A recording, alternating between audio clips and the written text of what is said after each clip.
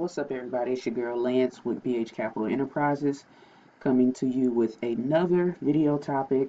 Um, keeping it right with Thinkorswim, which is one of my favorite platforms when it performs the way that it should be, should, or at least the way that it used to some years ago. But anyway, um, make sure you subscribe if you have not already. Hit that bell to make sure you get notified whenever I drop a new video. If you have any questions or concerns, hit me up. You know, leave a comment, send me an email, lance at bhcapitalenterprises.com. Make sure you visit my website if you have questions about what I offer, bhcapitalenterprises.com. Uh, this week I'm going to talk about research within the Thinkorswim platform, something that I think is, is really cool. Um, Thinkorswim does a really great job, in my opinion, of extracting important financial data, or not just financial data, but data about companies, publicly traded companies. Um, but first off, I want to start with um, a question that was raised by one of my um, current uh, HTOA participants. Um, and HTOA is just my uh, six week uh, workshop centered on technical analysis, uh, specifically charts. Um, and I teach you how to use a very successful strategy uh, to um, trade uh, options or forex or whatever using your ability to read charts. So anyway, um, the question that was raised was basically uh, centered around being able to look up companies based on industry. So you can do that in Thinkorswim. Uh, just go to Market Watch, and if you go to indices, you can go to the Russell 2000, Nasdaq 100, Dow Jones, S&P 100, S&P 500. Um, I don't think there's a section down here where you can do it by industry like you can on a watch list. But anyway, um, so if you want to look at S&P, you just click this here, drop down menu. Um, it's got the different uh, segments or sectors within the S&P 500, you know, the sectors that are represented. Um, let's go with uh, healthcare, for example. You got uh, it further breaks down into um, more niche uh, industries within this sector. Um, and let's just say we do, you know, healthcare, whatever that says. Let me bring it out a little bit. Healthcare, uh, what do we do? Healthcare providers. Um, and so then that breaks down even more. So let's just do healthcare services. So then it just gives you tickers, right? So then you learn, okay, these are the tickers in the S&P 500 within the healthcare sector, but within the uh, healthcare services industry. Um, so pretty simple. Um, very, very simple. You can do the same with, you know, any any of the um, the sections here and it'll just give you a list of tickers. Um, so I thought that was pretty cool, so I decided to uh, share that with you guys. But let's get on to the research part.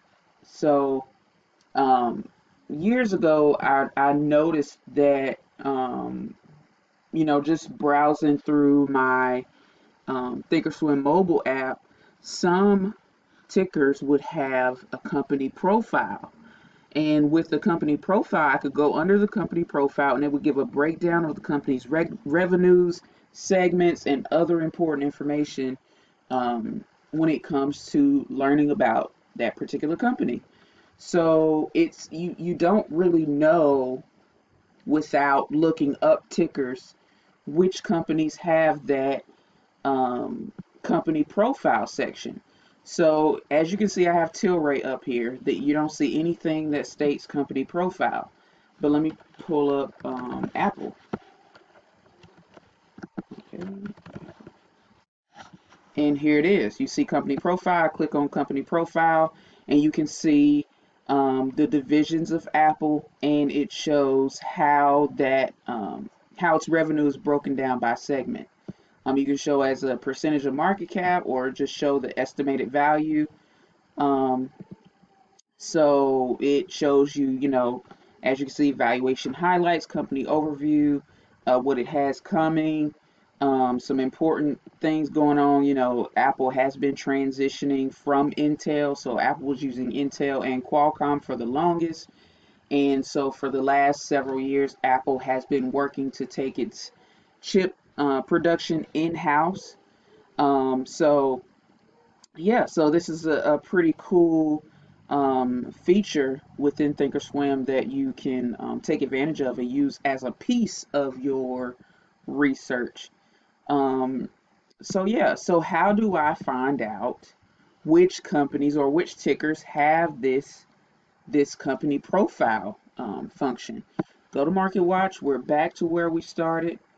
Um, go to uh, let's see, public, public. Uh, so these are public watch lists, and you go down to the section that says company profile.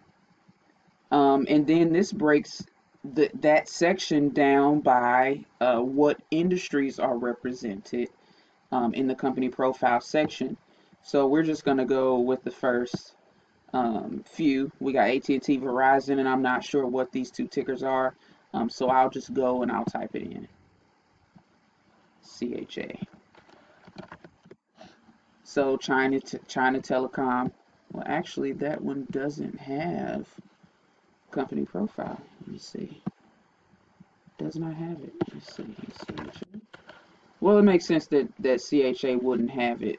Um, but as you can see, uh, AT&T has it. Verizon has it. Um, let's let's go back and check some more while we're at it. Entertainment, interactive, ATVI. Let's try those.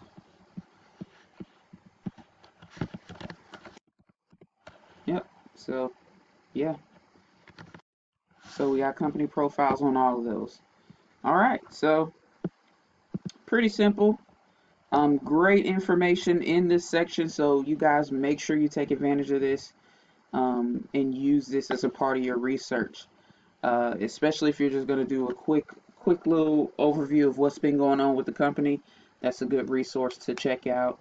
Um, if you guys have any other questions, I'm happy to answer. Thank you for watching. I'll catch you in the next video.